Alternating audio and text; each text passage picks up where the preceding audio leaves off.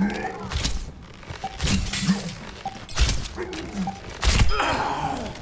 handy with that bow. Last round.